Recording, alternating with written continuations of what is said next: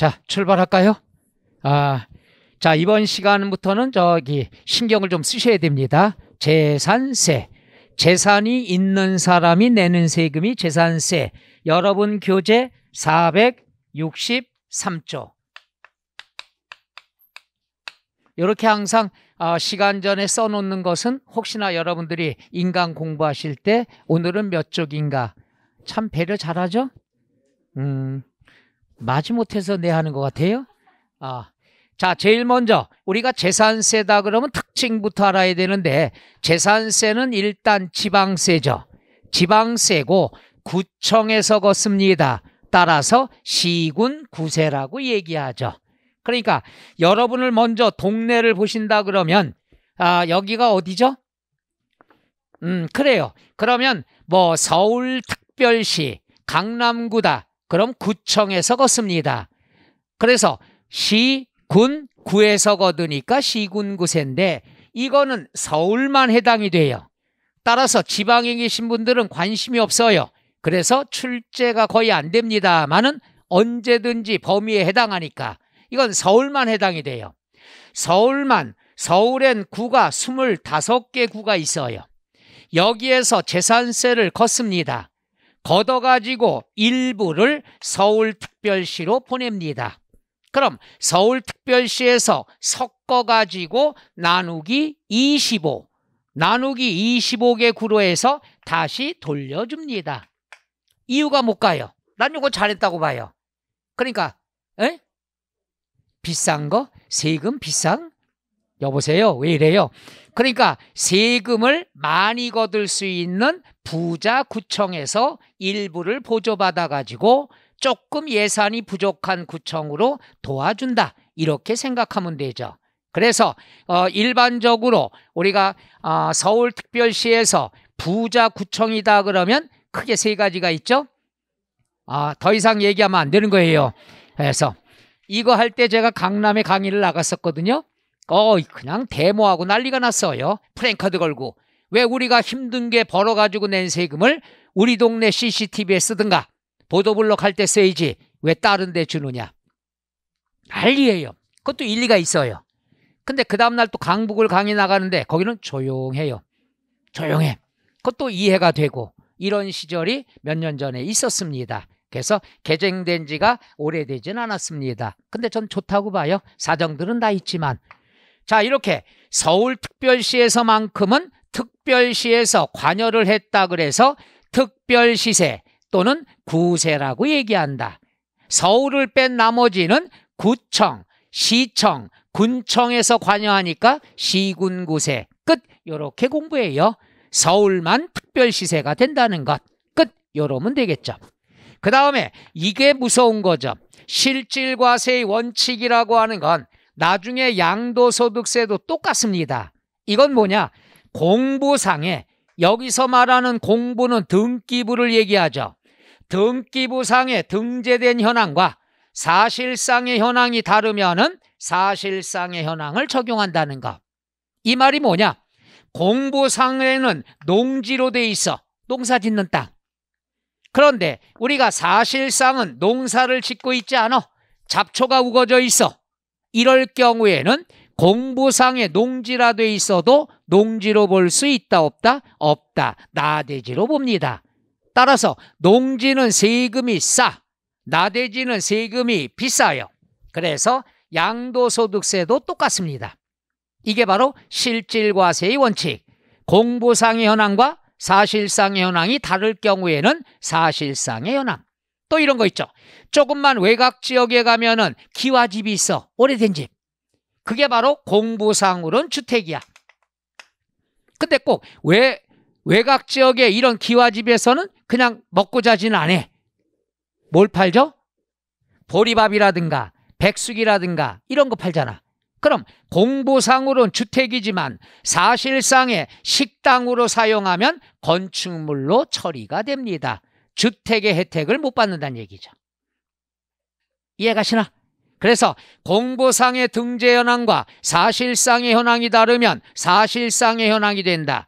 이게 어, 몇 년 전 기출문제 요게 나왔던 거죠. 뭐냐면은 공부상으로는 농지지만은 현재는 농사를 짓고 있지 않다. 경작하고 있지 않다. 이게 지문에 나온 적이 있습니다. 그럼 농지로 볼 수 있다 없다? 없다. 그 다음에 재산이라는 건 뭐예요? 있다가도 없고 없다가도 생기겠죠. 일일이 국민 개개인에 맞출 수가 없다는 얘기야. 그래서 국민 여러분 1년 중에 하루를 기준일로 선포하겠습니다. 요 날짜에 재산이 있으면 재산세 내고요. 요 날짜에 재산이 없으면 안 내도 됩니다. 세금을 부과하는 기준일이라 그래서 과세 기준일. 그럼 여러분들은 뭐야? 6월 1일만 피하면 되는 거예요. 내가 매도를 했다. 잔금을 6월, 5월 말까지 받으면 올해 재산세 안 내. 그럼 매도인은 잔금을 5월 말까지 받으려고 그러겠고 매수인은 잔금을 언제 주려고 그럴까? 6월 1일 이후에 주려고 하죠. 그걸 중재를 쓰는 게 공인 중개사가 되는 거죠. 해서 어, 요 날짜도 잘 판단을 하면은 절세 효과가 있다는 얘기야. 이게 궁금한 분은 가지고 있는 재산 다 팔아버려.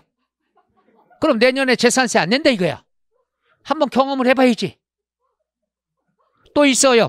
나중에 우리가 앞에서 배웠지만 주민세가 있어. 주민세는 재산세처럼 1년 중에 하루 기준일이 있어. 그 날짜에 주민등록이 돼 있어야 주민세 내는 거야. 그럼 여러분 궁금하잖아. 그 날짜가 7월 1일이야. 그럼 6월 말까지 주민등록 말소를 당해. 그럼 주민세 안 낸다는 얘기야. 한번 해봐야 기억이 오래 가죠. 그렇잖아요? 그 이후 사건에 대해서는 난 책임이 없어요. 그러니까 사, 재산은 6월 1일 기준. 그 다음에 어, 사람은 주민세는 7월 1일 기준이 된다. 그 날짜에 있어야 세금 내. 그 날짜에 없으면 안 내도 되는 거예요. 도 아니면 뭐예요? 그 다음에 때 되면 자 취득세나 등록면허세는 내가 취득을 했는지 정부가 그때그때 몰라. 그러니까 내가 신고해야 돼. 근데 재산은 내가 갖고 있는 건 등기부상에 다 올라가 있죠. 그럼 내가 어떤 재산 갖고 있나 정부가 알아요 몰라요? 알면은 나 신고할 필요 없어. 가만히 있으면 때 되면 고지서 날라온다. 고지서로 징수하는 걸 뭐라 그러죠? 보통 징수라고 합니다. 요게 우리가 알아둬야 될 특징이죠. 요건 다 중요한 겁니다.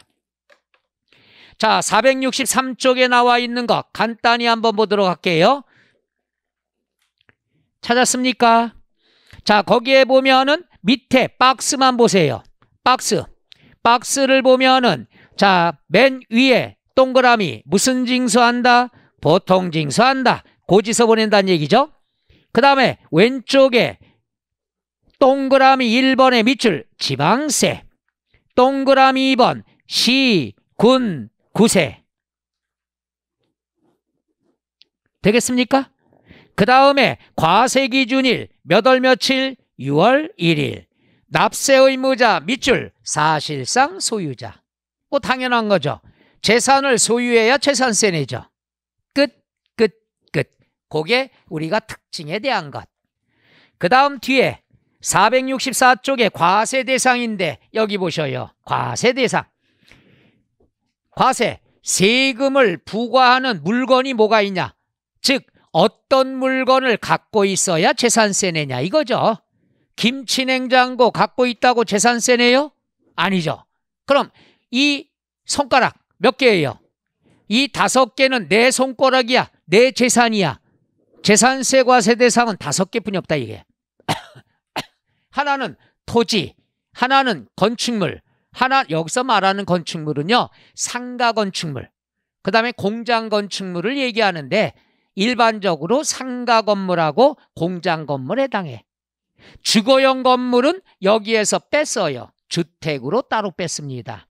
그러니까 건축물 크게 세 가지가 있는데 자 주거용 건축물 얘는 주택으로 뺐고 그 다음에 영업용 건축물, 상가 건축물, 공장 건축물은 건축물에 들어가 있는 거예요. 그 다음에 선박, 항공기가 있겠죠. 다섯 가지가 과세 대상이 됩니다. 이건 알아둬야 되겠죠. 자, 뭐뭐 뭐 있습니까? 토지, 건축물, 주택, 선박, 항공기가 있어요. 우리가 항공기다 그러면 조건, 사람이 탑승을 해서 조정을 해야 돼. 무인 항공기는 안 돼요. 대표적인 게 드론이죠. 드론은 재산세 안 냅니다. 근데 제가 예언을 할게요. 조만간 세법 개정이 돼서 드론도 아마 과세 대상이 될 거예요. 왜? 지금 유행하고 있으니까. 금액도 크니까. 그래서 드론도 앞으로 과세 대상이 되지 않겠느냐.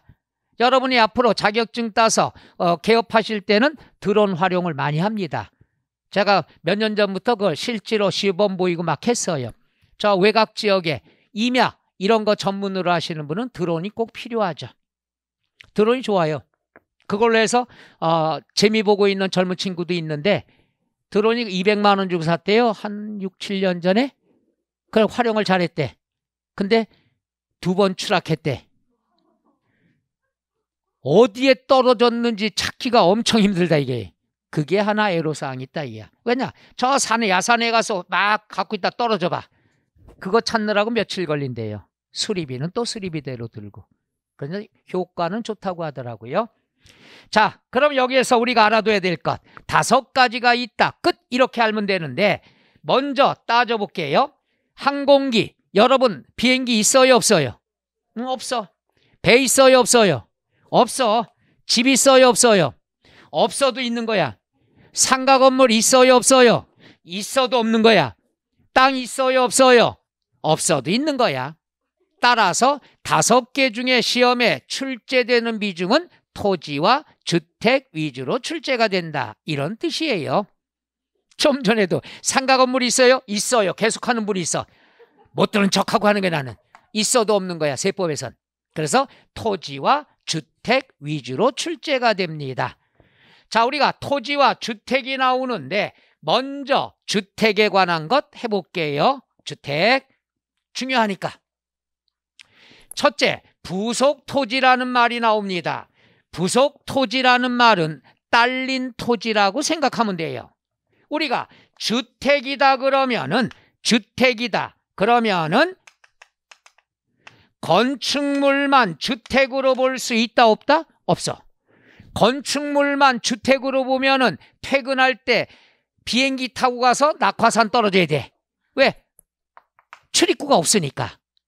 그럼 이거는 주택의 효과를 못 본다는 얘기죠.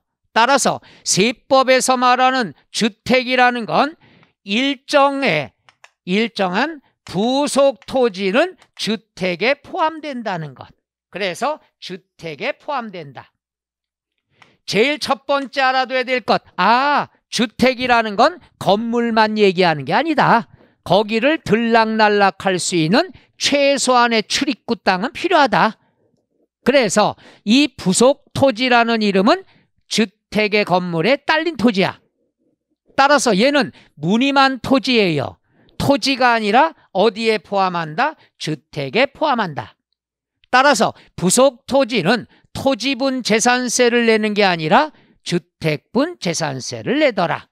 그래서 제일 알아둬야 될 것. 이거는 종부세, 양도소득세 똑같습니다. 부속 토지는 어디에 포함한다? 주택에 포함한다. 무조건 이건 알아둬야 돼. 기본. 입구는 필요하니까. 그 다음에 그럼 이걸 악용하는 사람이 있겠죠. 어? 토지가 주택에 포함되네? 아까도 얘기했지만 땅 중에 농지, 건물 중에는 주택은 세금이 쌓여. 먹고 살아야 되니까. 그럼 악용해서 어 건물은 요만큼 사고 야 이거 다, 다 부속 토지로 해줘 세금을 줄이려고 악용할 수가 있다는 얘기죠. 그래서 범위를 정해놨어. 야 부속 토지는 경계를 뒀어. 여기까지가 부속 토지 인정해 줄 거야. 그런데 부속 토지의 경계가 명백하지 않다. 이거 악용할 수가 있겠죠. 이럴 경우에는 그 주택의 바닥 면적이 있죠. 땅하고 붙은 면적, 연면적이 아니에요. 땅하고 붙은 건물 면적. 예를 들어서 요게 10제곱미터다. 근데 땅은 700제곱미터 갖고 있다. 야, 나 이거 700다 부속 토지로 인정해줘. 주택에 포함시키게 세금 들내게 악용할 수가 있으니까 계산을 해야 돼. 바닥 면적, 주택의 바닥 붙은 거, 땅에 붙은 면적이 10이다. 그럼 이거의 10배까지. 그러면 100제곱미터만 부속 토지로 인정해 주는 거야. 바닥 면적의 10배. 계산 문제만 나오면 눈이 흐릿해져. 그냥 곱하기 10. 그러면 700 중에서 재산세가 어떻게 고지가 되느냐? 여러분 다 알 수 있죠. 바닥 면적의 10배니까 100제곱미터까지는 토지가 아니야. 어디에 포함한다? 부속 토지니까 주택에 포함해서 세금이 싸. 그럼 초과되는 600제곱미터는 부속 토지가 아니야. 그냥 나대지야. 토지야. 토지분 재산세가 부과된다. 그러니까 100제곱미터까지는 주택에 포함하니까 세금이 싸고 초과되는 것은 토지분 재산세가 나온다는 것. 말 이해 가십니까? 요게 계산 문제도 과거에 나온 적이 있습니다. 양도소득세에서. 그러니까 그때 우리가 앞으로 1월 달에 배우게 됩니다. 부속 토지 이해가요? 자, 해서 부속 토지는 일단 어디에 포함한다? 부속 토지라 쓰고 주택 이렇게 읽는 거예요. 그 다음 부속 토지의 경계가 명백하지 않으면 몇 배까지 인정한다? 얘가 틀리게 나온 적이 한 번도 없어. 한 번 딱 나왔어. 20배로. 제가 이런 얘기 한 번 했죠. 숫자가 정해져 있을 때 틀리게 나올 때는 플러스 마이너스 10을 적용한다고 그랬잖아. 이거 비상한 건데. 그럼 10배란 말이야. 여기서 플러스 마이너스 해야 되는데 마이너스 하면 빵이니까 문제가 안 되잖아. 그러니까 20%뿐이 안 나온다는 얘기야. 대단하지 않아? 나올 수밖에 없어. 음, 지금이야 시험이 많이 남았으니까 뭔 소리야? 웃자라고 이러지만 지나고 나면 항상 이 틀에 갇혀 있는 거예요. 제가 한 분석하잖아요. 샤프. 하다 보면 이게 보여요. 그 다음에 다가구 주택이 나오는데 다가구 주택은요 양도소득세랑 똑같습니다. 틀리게 나온 적이 한 번도 없어요. 다가구다 그랬으면은 요거죠. 101호, 102호, 103호. 그러면 한 가구가 독립해서 사용할 수 있도록 분리된 부분을 각각 한 구의 주택으로 본다 이거야. 그러니까 여러분 집도 생각하면 편하잖아. 101호, 102호, 103호 각자 분리돼 있죠. 그럼 각각을 한 구의 주택으로 보는 거야. 그래서 항구 항구 항구 항구 항구 그래서 다가구다 이렇게 이해하시면 되겠죠. 요 지문은 틀리게 나오질 않아. 상식이야. 해서 한 가구가 독립하여 사용할 수 있도록 분리된 부분은 한 구의 주택으로 본다.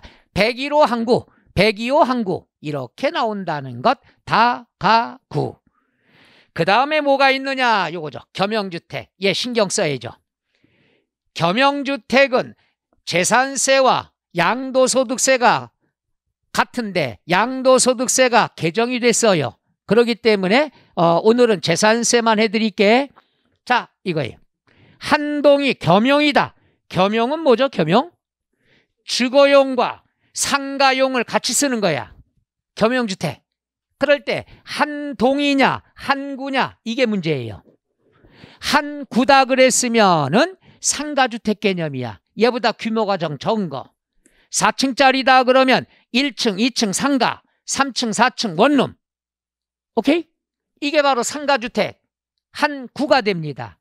요걸 시험에서는 단층으로 많이 나와. 1층으로. 그럼 한번 해볼게요. 1층으로. 자, 주거용이 50제곱미터다. 상가, 비주거용이 40제곱미터다. 주거용이 크죠? 비교해야 돼. 주거용이 크면은 전부를 주택으로 본다는 것. 주거용이 크면 면적을 비교해야 돼. 또 하나. 주거용이 50제곱미터다. 비주거용도 50이다. 서로 똑같죠? 같아도 전부를 주택으로 봅니다. 그런데 또 보죠. 요번에는 주거용이 50, 비주거용이 40이야. 아이고, 70이야. 그럼 비주거용이 더 크죠? 이럴 경우에 착각하면 안 돼요. 주거용이 크면 전부 주택이야. 비주거용이 크면 전부 비주거용이냐? 아니죠. 주택은 죽어도 주택이에요. 그러니까 주거용 면적이 적은 경우에도 주거용만 주택으로 본다는 얘기죠. 세 가지 경우. 그러니까 결론 얘기하면은 같거나 크면은 어디가 주거용이 같거나 크면은 전부 주택으로 봐. 그게 숫자로 나온 게 주거용이 100분의 50 이상이다. 50은 반인데 이상은 뭐야? 같거나 크다. 같거나 크면은 전부를 뭘로 본다? 주택으로 본다. 그런데 어 100분의 50 미만이다 그러면 주거용이 적단 얘기죠. 주거용이 적으면 주거용만 주택으로 본다. 그러니까 한 구냐, 한 동이냐를 동그라미 쳐야 돼. 시험 문제에서. 한 구라고 나왔을 때는 아, 비교해야 되는구나. 그래서 100분의 50 이상이면은 전부 주택으로 봐야 된다는 거. 이건 실무에서 굉장히 중요합니다. 내가 건물을 질라고 그래. 상가주택. 4층짜리. 그러면 어떻게 돼야 될까?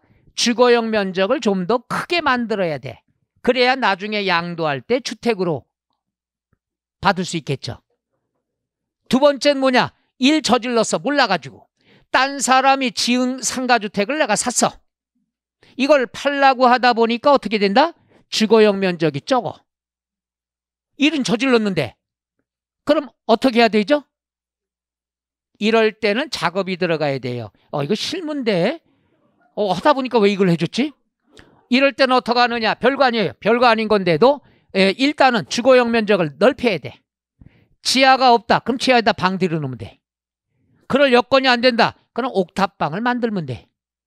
그것도 안 된다. 그랬을 경우에는 1층 상가, 2층 상가, 3층 주택, 4층 주택. 그럼 2층에서 3층 올라가면 다 주택이죠. 그럼 2층에서 3층 올라가는 계단도 주택에 포함하면 돼요. 내 이럴 줄 알았어. 괜히 이런 걸다 해줬어. 그러니까 실무상으로는 이런 것들이 해당이 됩니다. 그래서 그러니까 어, 모르면 세금 많이 내죠. 하나만 제가 자랑할까요?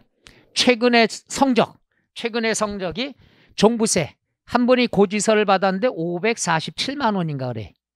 예, 카톡에 왔는데 그래서 설명을 해줬더니 고맙다고 문자가 왔어요. 27만 원으로 줄여줬나? 어, 그래 노래야지 정석이 기분 좋지. 나중에 난 오리 사준대. 아 저한테 배웠던 분인데 합격을 하셨어. 그분의 형님이 서울에 서초구에 아파트가 있어. 비싸잖아. 근데 지방에 상속을 받았어. 장남이야. 그래서 2주택으로 된 거야. 그러니까 서, 지방에 있는 주택은 가격도 얼마 안 되는데 주택세에 포함하니까 엄청나게 종부세가 500 몇십만 원이 나온 거예요. 그거 내야 되는 거야. 근데 또 나 연이 닿아서 나한테 이제 전화가 오고 그래서 설명을 해줬죠. 왜? 상속을 공동상속을 받았을 때는 우리가 지분율이 20% 이하면은 주택수에서 제외가 돼요. 그리고 20%가 3억 이하면은 주택수에서 제외가 돼. 그러니까 시골 주택이니까 해당이 안 되지. 그러니까 주택수에서 빼. 그러면 1세대 1주택 종부세야.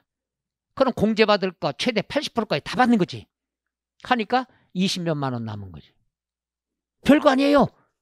그렇지만 모르는 사람은 500 몇십만 원 내야 되는 거예요. 그분이 70세가 넘었는데. 누구 만나서 잘 됐다? 어, 이건 또 대답, 요때 이렇게 해줘야 되는데, 됐어, 나도. 그래서 이 세금이라는 거 다시 한번 얘기하지만요. 이건 아는 만큼 내는 거예요. 그분 너무 고마워고, 고마워갖고, 동생한테 너무 고맙다고 그래. 내가 가르쳐 줬는데. 동생은 나한테도 이제 고맙다고 그래가지고. 그거에 아는 만큼 벌써 500한 20만 원 돈 절약을 했잖아. 그러니까 저 오리 사준대요. 내려오면은. 내려가는데 차비가 더 많이 들어. 음. 그래서 이 얘기인 즉스는 뭐냐면 그래서 저는 이제 한 저기 20년 된 그 수강생분들도 지금 연락하고 그래요. 각 지역별로 있으니까. 그렇게 되면은 꼭 집에서도 인정받고 집안에서 두고두고 할 거예요. 아 우리 동생이 해가지고 500 몇십만 원 절약했다고. 아는 만큼 내는 겁니다. 미안합니다. 여러분 합격을 안 했는데 이런 얘기해서. 그냥 시험 문제만 하면 될걸. 자 그래서 우리가 100분의 50 이상이면 전부 뭘로 본다? 주택으로 봐요. 요건 상가주택이야. 그런데 한 구. 근데 한동이다 그러면 한동이다 그랬으면은 뭐가 되느냐? 주상복합을 생각하면 돼. 주상복합은 대부분이 고층의 아파트죠. 따라서 1층의 상가, 2층의 상가, 나머지는 아파트. 그럼 주상복합은 아파트 면적이 더 넓을 수밖에 없죠. 태어날 때부터. 그러면 전부 다 여기에 대입을 하면은 전부 다 어떻게 된다? 주택으로 볼 수밖에 없죠. 근데 정부는 세금을 많이 거들라고 그래? 조금 거들라고 그래? 어, 어떻게 알았어? 많이 거들라고 하다 보니까 이 한 동을 한 구에 대입하면 다주택이야. 그럼 세금 못 걷어. 적게 걷어. 그래서 얘는 적용하지 않고 태어날 때부터 따로따로 주거용만 뭘로 본다? 주택으로 본다. 그래야 상가 세금을 더 거둘 수 있겠죠. 그러니까 시험에 나올 땐 뭐가 나오냐? 한동과 한구를 맨 앞에 주어지고 뒤에 설명 연결을 틀리게 낼 때가 있다는 얘기죠. 그럴 확률이 크다는 얘기지. 뭐냐면은 한동이라 써놓고 뒤에는 한구의 설명을 써놓는다는 얘기야. 제 말이 이해가요? 이렇게 내는 거는 잘 안 나와. 왜? 숫자가 없으니까. 얘는 숫자가 있으니까 그럴듯해 보이니까 연결을 이렇게 틀리게 낼 확률이 크다는 얘기죠. 아무리 봐도 내가 분석 하나만큼 잘해. 헷갈리는 걸 연결시켜 놓는 거예요. 그럴듯해 보라고. 그래서 한동은 비교하지 않고 주거용만 주택으로 보고 그 다음에 한구는 100분의 50 이상이면 전부를 주택으로 본다. 같거나 클 때는 전부 주택으로 본다. 끝, 끝, 끝. 바로 이게 주택에 대해서 배워야 될 포인트입니다. 나오면 요 대목에서 나오죠. 자, 여러분 교재를 보니까 464쪽에 보니까 과세 대상 나와 있죠. 첫째 줄에 자동으로 밑줄 쳐놨네요. 토지, 건축물, 주택, 선박, 항공기가 과세 대상이다. 모두 몇 개가 된다? 다섯 개. 동그라미 1번 토지. 토지는 체크하세요. 엄청 중요하고 내년에 나올 때가 됐습니다만은 요거는 아 1월달 1, 2월달 강의 때 나갈 겁니다. 지금 들었던 기절해요. 가출하고. 그 다음에 465쪽에 어, 동그라미 3번 밑줄 주택. 주택은 꼭 알아둬야 됩니다. 자, 기억 의 중에 A번 보세요. 여기 잘 보세요. 자, 주택법 규정에 따른 주택 말한다. 이건 중요하지 않고 이 경우부터 밑줄 치세요. 이 경우에 토지와 건축물의 범위에서 주택은 제외한다. 바로 이것이 이것이 과거에 기출문제 나온 지문이에요. 자, 뭐냐? 이거야. 토지와 잘 봐요. 토지와 건축물의 범위에서 주택은 포함하냐 제외하냐 이게 시험 문제예요. 아주 유치해 죽겠어. 우리를 바보로 알아. 근데 바보가 있더라고요. 토지와 건축물에는 주택이 포함될까 제외될까? 왜? 그렇죠. 따로 썼으니까. 이렇게 쉽게 접근하란 말이에요. 따로 썼다는 건 어느 한쪽에 포함이 안 된다는 얘기 아니야. 근데 이걸 억지로 이해하려니까 더 어려운 거야. 우리의 소원은 답 찾는 거야. 그죠? 뭐로 가도 어디만 가면 된다? 집에만 가면 된다? 여보세요. 합격만 하면 되는 거예요. 그러니까 이런 사소한 게 세법에 나오는 이거는 참 단순한 상식으로 접근하면 되죠. 어, 토지와 건축물 범위에는 주택이 제외된다. 왜? 따로 썼으니까. 그래서 거기 나온 게 뭡니까? 토지와 건축물 범위에서 주택은 어떻게 된다? 제외한다. B번 동그라미. 주택 부속 토지의 경계가 명백하지 않으면 바닥 면적의 동그라미 몇 배? 10배. 10번. 밑줄. 다가구 주택은 한 가구가 독립하여 구분 사용할 수 있도록 분리된 부분을 한 구의 주택으로 본다. 한 구 한 구 다가구 했죠. 그 다음에 니은 밑줄 겸용주택. 겸용주택은 A번의 동그라미 한동, 한동, 한동은 주상복합. 비교할 필요 없죠. 어, 주상복합은 안 써도 되는데 시험에 안 나오는데. 자, 두 번째 줄에 주거용으로 사용되는 부분만을 주택으로 본다. 비교 안 한다는 얘기죠? 그 지문 알아두고요. 그 다음에 B번에 동그라미 한 구. 한 구는 두 번째 줄에 주거용 사용되는 면적이 전체 100분의 50 이상인 경우는 뭘로 본다? 주택으로 본다. 그 다음에 5번 항공기는 밑줄 사람이 탑승 조정 끝 이렇게 알아두시면 되겠습니다. 자 우리가 다섯 개 과세 대상 중에서 다섯 개 과세 대상 중에서 토지와 주택 위주로 출제가 되는데 토지는 1, 2월 기본서 과정에 할 거고요. 오늘은 주택. 이건 시험 때까지 추가되는 내용이 없어요. 이것만 가지고 시험 때까지 1년 동안 배우게 됩니다. 그 다음 뒤로 넘어가서 재산세, 납세, 의무자가 나와 있죠. 재산세, 납세, 의무자. 이거는 나올 때가 됐습니다. 그래서 꼭 신경을 쓰셔야 된다는 것. 자, 볼게요. 꼭 아셔야 돼요. 납세 의무자는 뭐냐? 어떤 사람이 세금을 납부할 의무가 있느냐? 어떤 사람이? 그러면 당연한 얘기죠. 재산을 소유하고 있는 사람이 재산세 내겠죠. 따라서 과세 기준일 현재 몇 월 며칠? 6월 1일 현재 사실상 소유자. 그러니까 원칙은 사실상 소유자가 된다. 언제? 6월 1일 현재. 재밌는 건요. 재산세 날짜가 나왔을 때 애매모호하면 다 6월 1일이야. 그러니까 6월 1일 날 있으면 재산세 내요. 그리고 재밌는 건 지문에 힌트가 꼭 나와. 그 찾는 연습을 1년간 하는데 오늘부터 해보자 이거야. 뭐가 나오냐? 공유. 그럼 공유의 뜻이 뭐예요? 탤런트? 배우? 불 끄고 여기다 칼 꽂고 와요? 죄송합니다. 이게 뭐 안 되네. 공동 소유야. 공동 소유다 그러면은 각자가 지분이 있겠죠. 그럼 한 사람, 여러 사람. 그렇죠. 여러 사람. 지분권자라 그래. 얘는 이게 지분이 틀리지, 지문이 틀리게 안 나와. 이렇게 나오죠. 자, 갑이라는 사람이 70%, 을이라는 사람이 30%, 요걸 지분이라고 그러죠. 몫을 얘기하죠. 그러면은 납세 의무자는 갑, 을 두 사람이죠. 말 이해 가셔? 그런데 지분의 표시가 없을 때가 있다 이게. 지분의 표시가 없다. 그럼 왜 그러냐? 똑같으니까 안 써도 되는 거지. 따라서 지분의 표시가 없으면 지분이 어떤 걸로 본다? 균등 똑같은 것으로 본다 이거예요. 말 이해 가셔요? 자, 이 공유재산 끝이야. 더 이상 이걸 빠져나가지 못해. 그 다음에 요건 좀 헷갈릴 텐데 좀 전에 설명했어요. 주택이 있어. 그런데 건축물하고 부속 토지하고 소유자가 다르다 이거야. 이게 여러분이 헷갈려 하는 건데 잘 봐요. 아, 주택이 하나 있는데 요건 갑의 명의로 돼 있어. 부속 토지는 을 걸로 돼 있어. 그럼 소유자가 두 사람이죠. 결론부터 얘기할게요. 공유하고 똑같은 거야. 납세 의무자는 몇 사람이 될까? 두 사람. 소유자가 두 사람이니까. 근데 시험은 그게 아니야.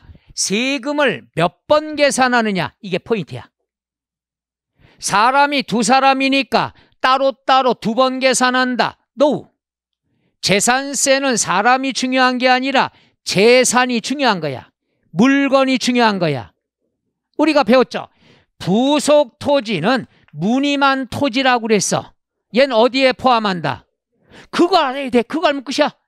주택에 포함되니까 사람은 두 사람이지만 재산은 주택 하나다 이거예요.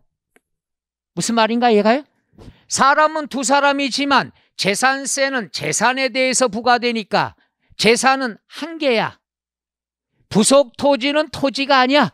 어디에 포함해야 돼? 주택에 포함하니까 재산은 하나뿐이 없는 거야. 그러니까 소유자가 둘이라고 그래서 건물 따로 토지 따로 계산하면 틀린 거야. 부속 토지는 주택에 포함하니까 재산은 주택 하나뿐이 없어.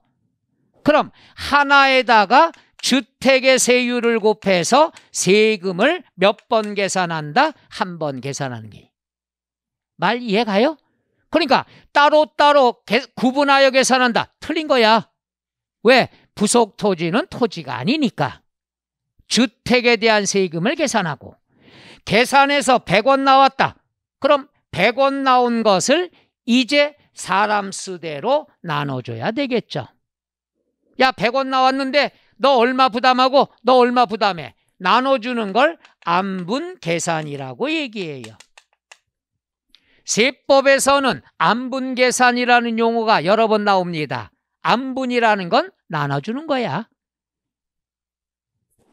주택에 대한 세금이 나왔으니까 이걸 너랑 나랑 논아서 부담하라 이거야. 그럼 나눠줄 때는 어떻게 하느냐? 나눠줄 때는 가격이 있겠죠. 요건 뭐냐? 1년에 한 번씩 국토교통부 장관이 전국의 땅값, 전국의 주택 가격을 기준 금액을 발표하잖아. 그걸 뭐라고 얘기한다? 시가 표준액 비율로 안분 계산한다. 그러니까 100원 나왔으면은 건물이 비싸다. 그럼 너 많이 부담해. 토지가 더 비싸다. 그럼 토지 소유자가 더 많이 부담해. 시가 표준액 비율로 안분 계산이 들어간다. 여기까지 하면 어렵겠죠? 정리할게요. 건축물과 토지 소유자가 다르면 물건은 주택 하나뿐이 없어. 주택에 대한 세금을 산출하고 산출한 세금을 시가 표준액 비율로 어떻게 한다? 안분을 해준다. 그런 다음 결론 들어가면 똑같죠. 결론은 납세 의무자는 몇 사람이 될까? 두 사람이 되는 거야. 공유하고 똑같아. 니들이 소유자니까 납세 의무는 있지만 세금 계산은 이렇게 한다는 얘기예요. 말 이해 가실래나? 아, 그래서 항상 부속 토지는 토지가 아니다. 어디에 포함한다? 주택에 포함한다. 요렇게 알아두시면 끝, 끝, 끝.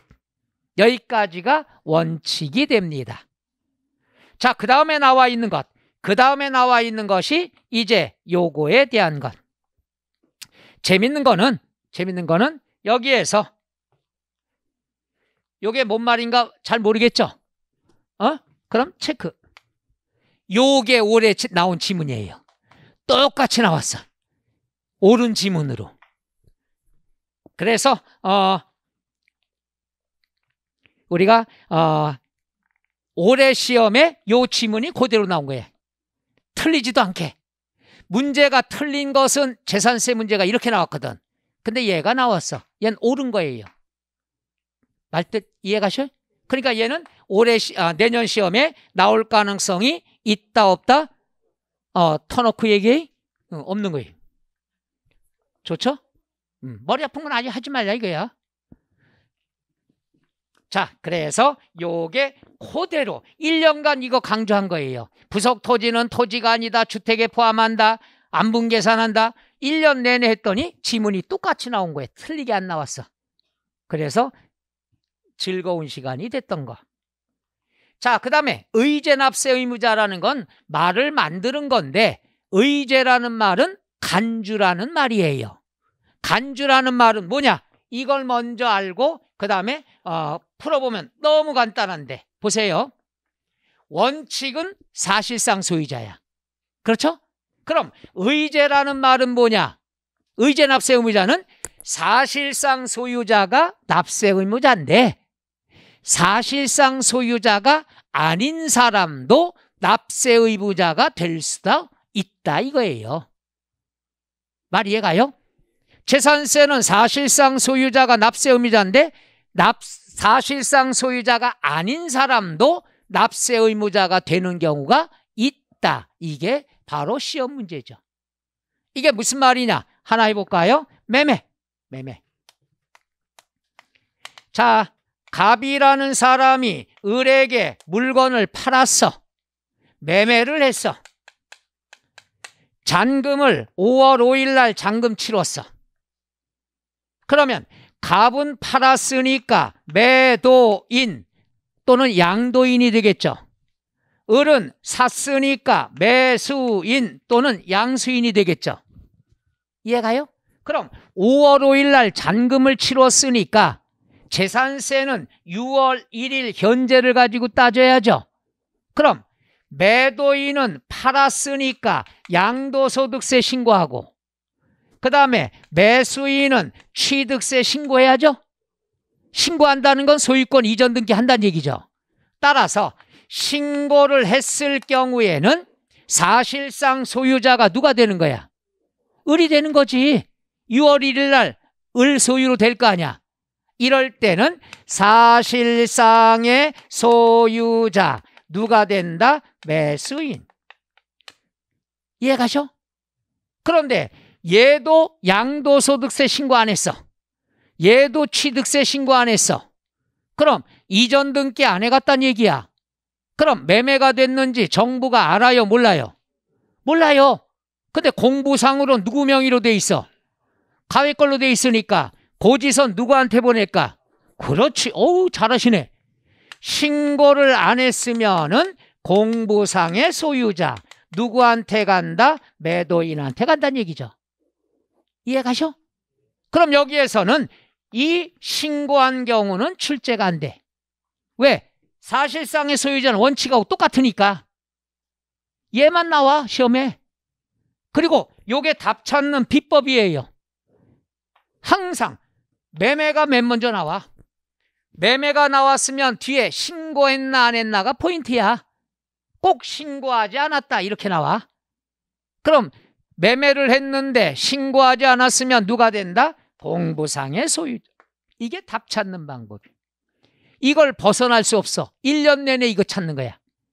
시험 이따가도 해볼 거예요. 교재 갖고 매매 보고 신고하지 않았다. 그럼 공부상의 소유자가 된다. 이게 답 찾는 거야. 힌트를 노골적으로 줘. 1년 내내 요거 배우는 거예요. 그 다음에 이해 가셔? 아니야. 여기 여러 개 준비해 놨어요. 그 다음에 종중. 종중 재산이야. 자, 보죠. 이게 뭐죠? 어이, 그림 나 잘해. 이게 원래는 종중 거야. 근데 종중 건데 종손, 갑순씨 개인 명의로 공부에 등기가 돼 있어. 그런 거 많잖아요. 문중재산인데 종손 개인 명의로 올려놓잖아. 그럼 종손은 사업한다고 다 팔아서 도망 다니고 이런 게 많이 있었습니다. 그러면 공부상에는 갑순씨로 돼 있어. 사실상의 소유자는 종중이야. 이걸 갑순이가 신고하는 거야. 야, 이거 내 거라고 내 이름으로 돼 있지만 내 거 아니야. 우리 종중 거야. 라고 신고했으면 고지서는 누구한테 가겠어? 종중으로 가죠. 사실상의 소유자를 알았으니까. 따라서 사실상의 소유자 종중이 되겠죠. 그런데 신고 안 하고 가만히 있어. 가만히 있으면 정부는 명의가 옛 걸로 돼 있지 사실상의 종중건지 알아요 몰라요? 모르면 누구한테 고지서 보내? 갑순이한테 보내? 개인 명의로 보내? 따라서 공부상의 소유자 누가 된다? 개인이 되겠죠. 그럼 여기서도 신고하는 경우는 원칙하고 똑같으니까 출제 안 된단 말이야. 그럼 나올 때는 뭐냐? 종중재산이래. 신고했대, 안 했대? 안 했대. 그럼 누가 되는데? 공부상의 소유자. 이거를 답 찾는 거야. 밑줄 치고 할 필요도 없어. 동그라만 치면만 그대 나오는 거예요. 해볼 만하지 않을까요? 아니, 또 준비해놨어. 요번에 될 때까지 끝장을 내자고요. 1년 내내 똑같아요. 시험 볼 때까지. 그 다음에 뭐가 있냐? 상속. 죽이겠어. 상속. 죄송합니다. 이 유머도 안 맥히네. 자, 아버지가 돌아가셨어. 일남이가 아파트 상속받았어요, 나? 자랑하는 거예요. 이남이가 나는 상가 받았어요. 삼순이가 나 땅 받았어요. 신고했어. 그럼 신고했으면 아파트의 사실상 소유자는 누가 낸다? 일남이, 요건 이남이, 요건 삼순이. 따라서 신고를 하면은 사실상의 소유자가 되는데 누가 되느냐? 상속인 각자가 되는 거죠. 요거는 일남이, 요거는 이남이, 요거는 삼순이. 왜? 받았다라고 신고했으니까. 그래서 시험엔 안 나오는 게. 원칙하고 똑같으니까. 그럼 신고를 안 했어. 어, 여보세요. 상속이 좋아, 좋은 거예요? 나쁜 거예요? 그저 공짜 생기니까 다 좋은 거라 그래. 그러면 안 돼요. 세법상 상속은 짠한 거예요. 사랑하는 사람을 잃었으니까. NG 다시 한번 해볼게요.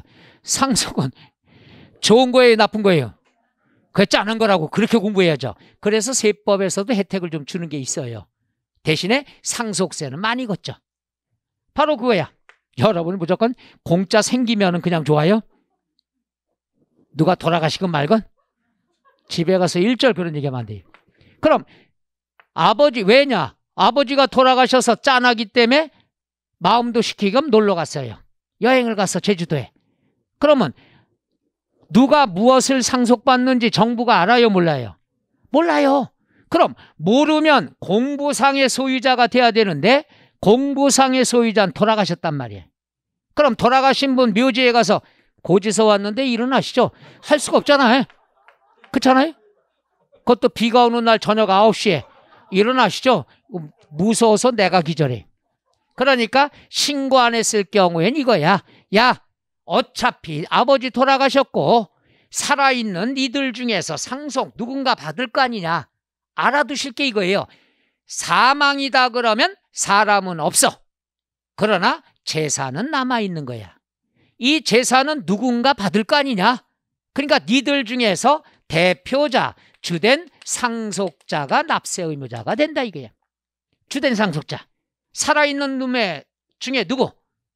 그럼 주된 상속자로만 맨날 시험에 나오니까 틀리는 사람이 없어.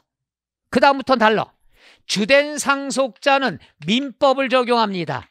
민법상의 상속 지분이 가장 큰 자가 주된 상속자야. 그럼 민법상의 가장 지분이 큰 사람이 누가 되겠어? 그렇죠. 배우자야. 배우자가 1.5, 1대 1대 1이란 얘기죠. 그런데 배우자는 안 내요. 왜냐하면은 배우자가 상속 지분이 가장 큰데 그 배우자가 두 명 이상이면 배우자가 A, 배우자 B, 배우자 C. 아니, 왜 그러냐면 옛날 어르신들은 현재 이렇게 된 경우도 배제할 수 없다는 얘기야. 그래서 공인중개사에는 이거 예민하니까 안 내요. 근데 공무원 시험에는 이게 몇 번 출제가 됐어요. 배우자가. 공인중개사는 연 령대가 있어서 현재 이런 상황에 있는 분은 문제 풀 때 승질 날 거 아니야 공부할 때. 그래서 요거 안 하고 대신에 배우자가 안 계신다고 자식만 일남이 이남이 삼순이 있다고 그래서 지분이 1대 1대1 똑같을 때. 그럴 때는 연장자로 한다. 이 말은 장남한테 보내겠다는 얘기예요. 그래야 좀 순화가 되잖아. 배우자 어머니가 여러분 계시다. 이건 아픔이 있는 거예요. 그래서 이렇게 나옵니다. 그러니까 지분이 가장 큰 자가 둘 이상이라는 건 자녀가 둘 이상이란 얘기다. 이렇게 접근하시면 된다는 얘기죠. 끝, 끝, 끝. 요 세 가지. 얘도 똑같아요. 뭐가 나오냐? 상속이 나오고 신고하지 않았대. 그럼 주된 상속자. 이게 답 찾는 포인트가 되는 거야. 이걸 벗어날 수 없어요. 지문에 얘가 안 나오면 문제가 안 되는 거. 아예 답을 가르쳐 주는 거야. 1년 내내 이거 찾는 연습해. 납세 의무자가 나올 때가 됐다고 했습니다. 답은 이렇게 찾는 거야. 추가되는 거 없어요. 끝. 여기까지 이해 가셔? 아니야. 또 준비해 놓은 게 있어요. 그 다음에 나와 있는 건데 요거에 관한 것은 좀 쉬었다가 하고 그 다음에 어, 교재 갖고 복습하도록 할게요.